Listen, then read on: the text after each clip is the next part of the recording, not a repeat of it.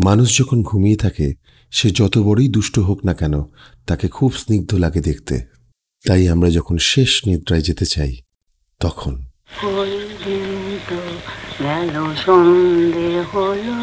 পার করো আমারে। ওই দিন তো গেল সন্ধে হলো, পার করো আমারে।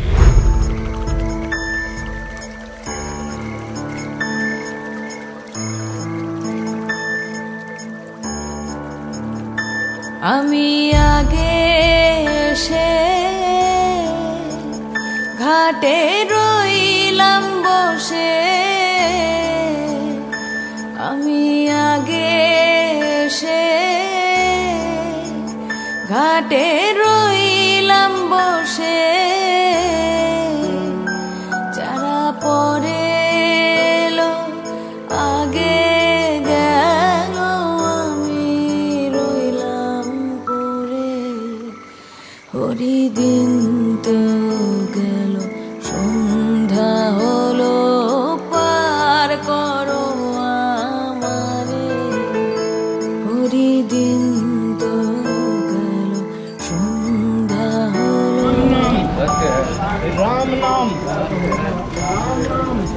বলে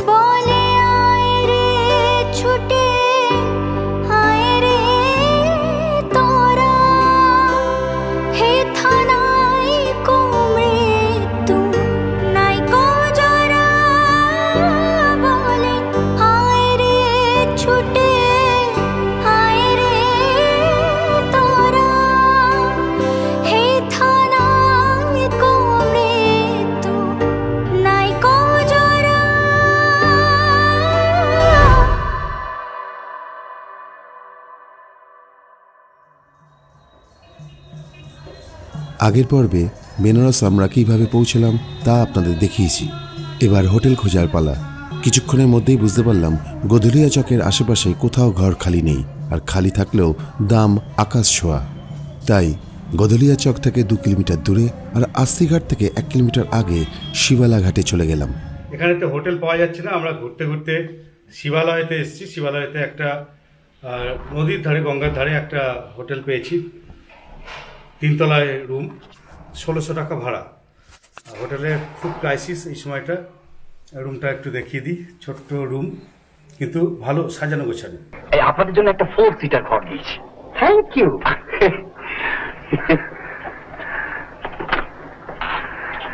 আপনারা একটু গুছিয়ে বসুন আমি এক্ষুনি আসি হ্যাঁ হ্যাঁ ঠিক আছে ঠিক আছে।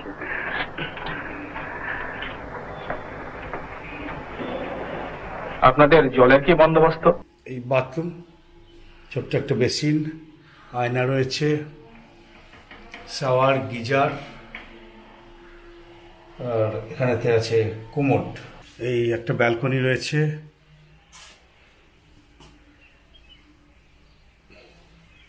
এই বিছানা। এখানেতে একটা বেঞ্চ মতো রয়েছে, বসার জন্য বা জিনিসপত্র রাখার জন্য। এই ব্যালকনিটা দেখাই। ব্যালকনিতে একখানা চেয়ার দেওয়া আছে একটা বেতের টেবিল আর সামনে এই বাড়ির ওপাশটায় গঙ্গা দেখা যাচ্ছে ফাঁক দিয়ে। আমাদের দুজনের জন্য ঠিক আছে কিন্তু ফ্যামিলি নিয়ে থাকার যোগ্য নয় তাই হোটেলের নাম না বলাই ভালো। এই হচ্ছে ব্যালকনি থেকে দৃশ্য। আজকে সাতাশে ডিসেম্বর খুব রাস হয়েছে। তো এখন এখানেতে ঘর যে যেমন পাচ্ছে হাঁকছে আড়াই হাজার তিন হাজার সাড়ে তিন হাজার চার হাজার এরকম সব রেট হাঁকছে। যার জন্য একটু ভিতর দিকটাতে আসতে হলো। এখান থেকে মেন রোড আমাদের যে হোটেল আছে সেখান থেকে দু মিনিট হেঁটে যেতে হবে। বারান্দা থেকে গড় পঞ্চকোট মন্দিরও দেখা যায়? আরে একে বাদ দিন। ওই যে দূরে দেখা যাচ্ছে। তবে এখানে এদের দাপটও কিন্তু কম নয়। সাধে কি রাবণ যুদ্ধে হেরেছে? পঞ্চকোট রাজহাউস এটা সারা বছর বন্ধ থাকে। শুধু দিওয়ালির দিন এটা খোলে। তাও হাতে গোনা কয়েকজন প্রবেশ করতে পারে। আর পাশে একটা মাঠ, খেলা হচ্ছে।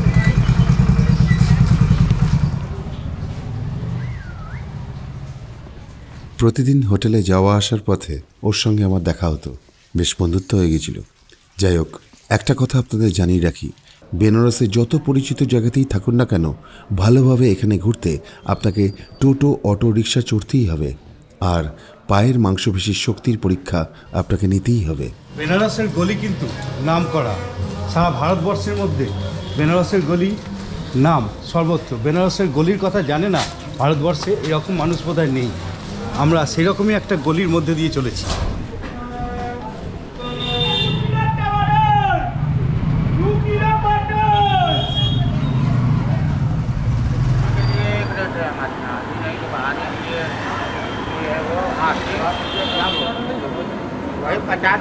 সত্য ভাজা হচ্ছে এবং গরম গরম পরিবেশন হচ্ছে। প্রাতঃ রাসটা তাহলে সেরেই ফেলি, কি বলেন?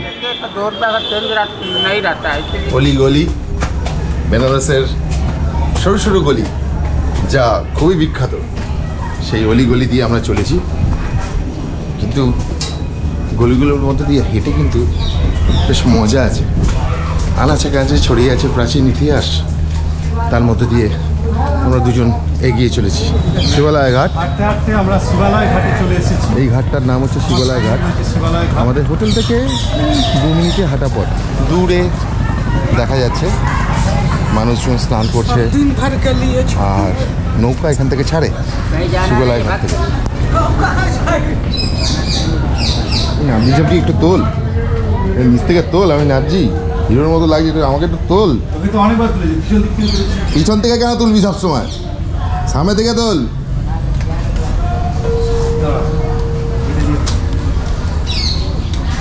ভিডিও?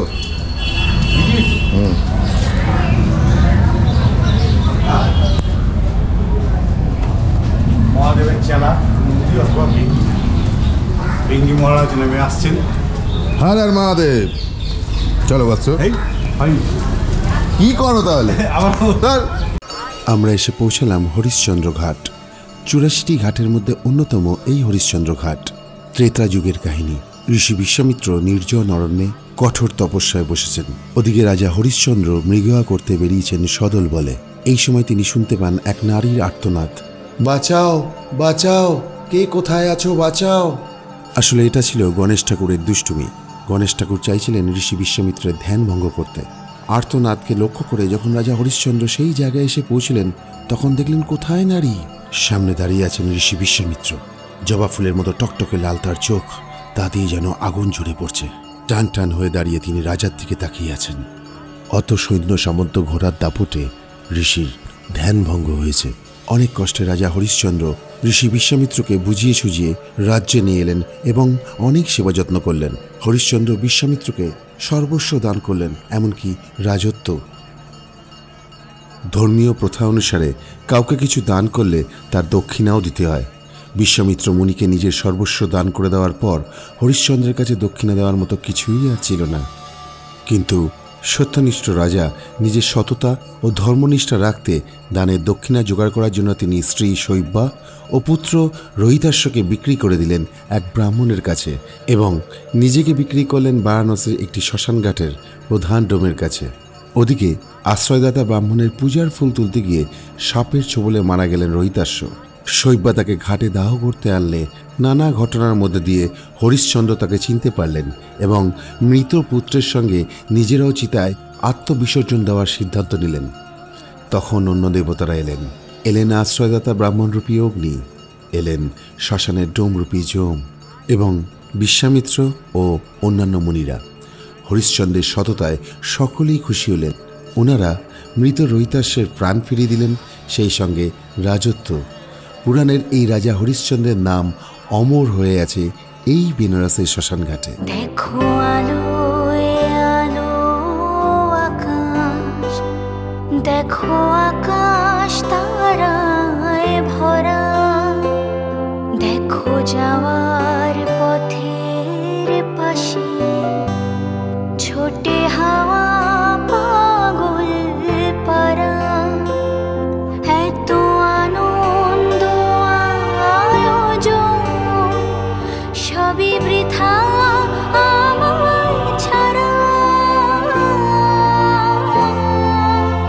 প্রধান সড়ক থেকে মণিকণিকা ঘাটের প্রবেশপথ।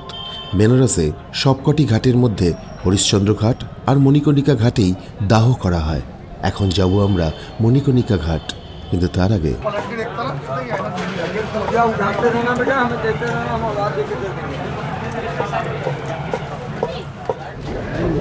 মণিকণিকা ঘাট যাওয়ার রাস্তা।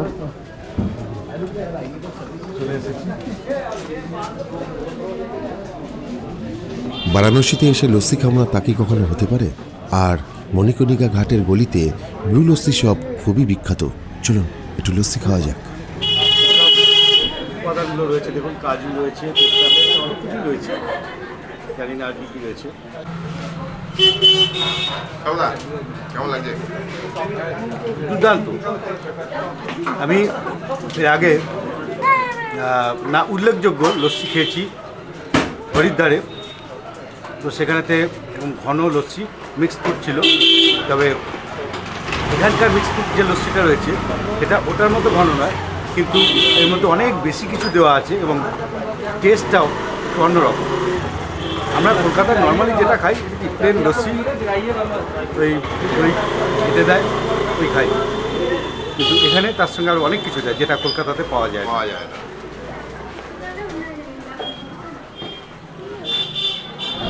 এখন এই মুহূর্তে লস্যি খাচ্ছি দেখি খেয়ে কেমন।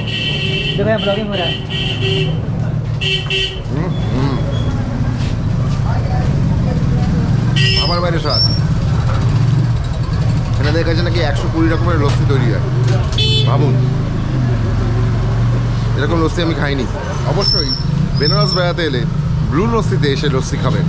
কচুরি গলি মণিকণিকা ঘাট যাওয়ার রাস্তায় পড়বে ব্লু লস্যি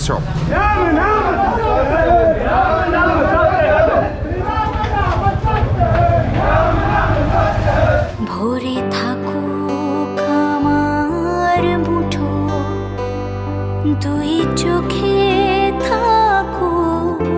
ধারা এলো সময়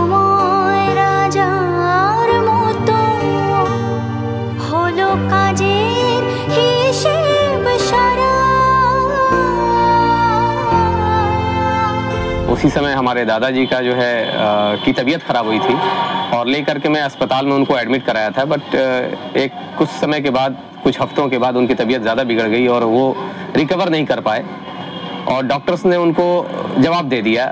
तो मेरे को समझ में नहीं आया कि मैं उनको लेकर के कहाँ जाऊँ। वो गाँव जाने की बात कर रहे थे मैंने एंबुलेंस मंगाया और मैंने सोचा कि उनको गाँव लेकर के जाऊँ।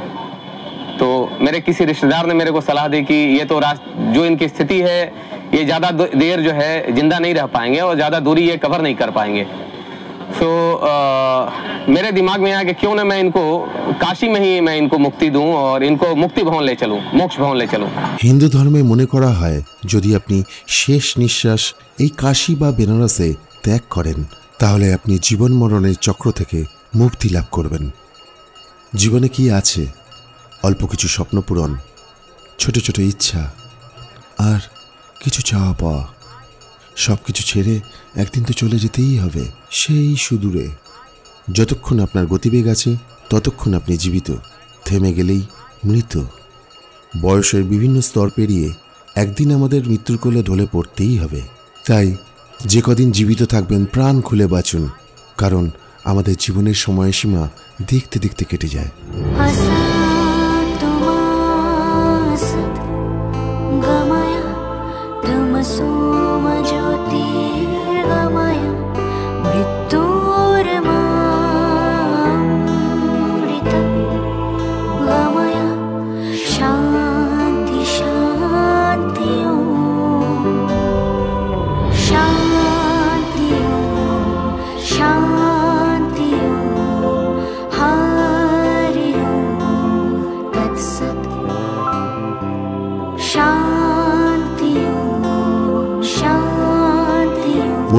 মণিকর্ণিকা ঘাট কাশীর প্রধানতম শ্মশান ঘাট এটি।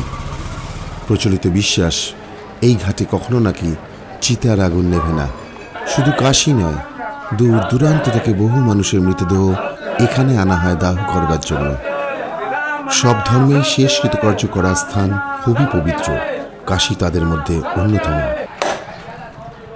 কথাতেই আছে, বার্ধক্যের বারাণসী। হিন্দু শাস্ত্র ও পুরাণ অনুযায়ী সনাতন হিন্দুরা বিশ্বাস করেন যে কাশীতে মৃত্যু ঘটলে এই ঘাটের শ্মশানে মৃতদেহ দাহ করা হলে মৃতের আত্মা মুখ সর্জন করে। তার আর জন্মান্তর হয় না। সে চিরকালের মতো মুক্তি পেয়ে যায় এই জন্ম মৃত্যুর চক্র থেকে। তাই দূর দূর থেকে মানুষ ছুটে আসে এই বারাণসীর বুকে জীবনের শেষ কটা দিন কাটাবে বলে। মৃত্যু এখানে শুধু সুলভ নয়, মৃত্যু এখানে কাঙ্ক্ষিতও। এখানেতে পুরানো হয় সবসময়ের জন্য বলা হয় যে মণিকর্মিকা ঘাটের চিতা কখনো নেভে না।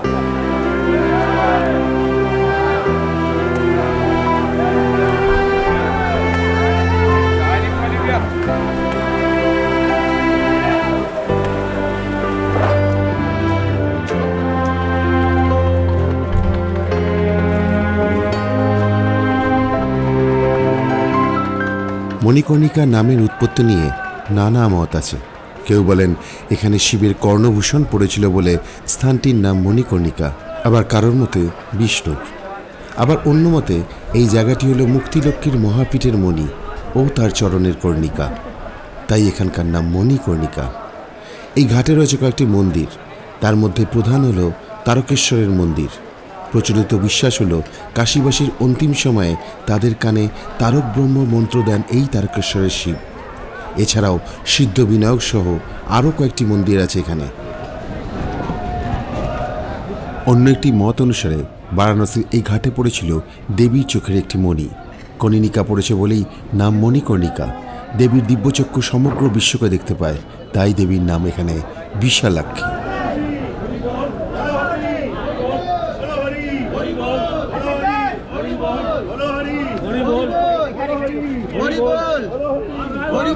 এটি মণিকর্ণিকা কুণ্ড। পুরাণে আছে, সৃষ্টিকালের শুরুতে বিষ্ণু এখানে আশি হাজার বছর পর্যন্ত তপস্যা করেছিলেন। এই কুণ্ডটি ওনার চক্র দিয়ে উনি তৈরি করেছিলেন। এই জন্য একে চক্র পুষ্করিণীও বলা হয়। পরে শিব এবং পার্বতী এখানে স্নান করতে এলে শিব ঠাকুরের মণি এবং পার্বতী মায়ের কানের দুল এখানে পড়ে যায়। তারপর থেকে এই জায়গার নাম হয় মণিকর্ণিকা কুণ্ড। মণিকর্ণিকা ঘাটে গঙ্গার উপরেই একটি হেলানো মন্দির দেখা যায়, যেন আধভাঙা হয়ে জলে ভাসছে প্রচলিত বিশ্বাস প্রতিষ্ঠাতার দম্ভের কারণেই মন্দিরটির এই অবস্থা। কোনো এক ধনী মহিলা মন্দিরের দ্বার উদ্ঘাটনের সময় বলেন, মা, তোমার ঋণ শোধ করলাম। এই কথা বলা মাত্রই নাকি মন্দিরটির এক অংশ ভেঙে কাত হয়ে পড়ে। সেই থেকে এরকমভাবেই রয়েছে মন্দিরটি। দেখো।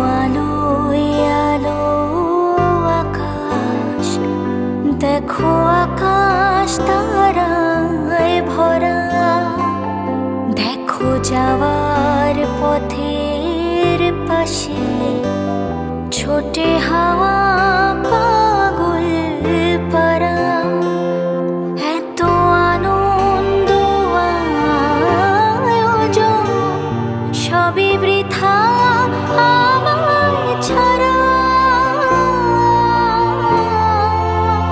নিজের প্রিয়জন হারানোর দুঃখ যে হারায় সেই শুধু বোঝে। মনটা কেমন ভারী হয়ে গেল। যাই হোক, যে কদিন এই পৃথিবীতে আছেন, প্রাণ খুলে বাঁচুন, মানুষকে ভালোবেসে বাঁচুন। বেনারসের পরের পর্ব নিয়ে কিছুদিনের মধ্যেই আপনাদের সঙ্গে দেখা হচ্ছে। ততক্ষণ আপনারা ভালো থাকবেন, সুস্থ থাকবেন। ধন্যবাদ।